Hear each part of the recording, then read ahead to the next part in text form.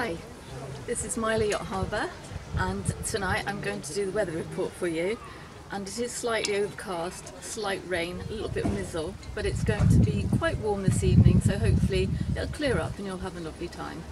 Um, for those who don't know me, I'm Cora and I'm part of the team at front of house at Mylor Yacht Harbour. Um, and I have been away for a while but I'm back now and so to all the people that do know me, a big hello and I'd love to see you soon. So please come into the office when you can and say hello to us all. Um, because of social distancing, we are having to stay two metres apart, but I can appreciate that everybody knows that. You don't have to wear a mask to come into the reception. All you need to do is just wait one at a time and then we come to you. So we'll make you most welcome and it's still outside, but it's lovely and warm and sunny in our office. Now I've got a couple of things to tell you about the weather and I have to look with my glasses on, so excuse me.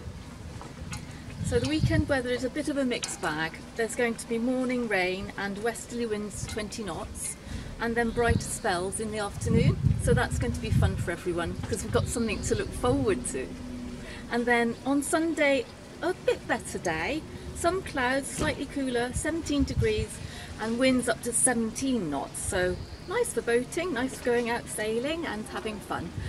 And um, obviously if you need anything like car passes or friends coming and they need to find out where everything is then just please pop in because we're open 24 7 have a lovely fantastic weekend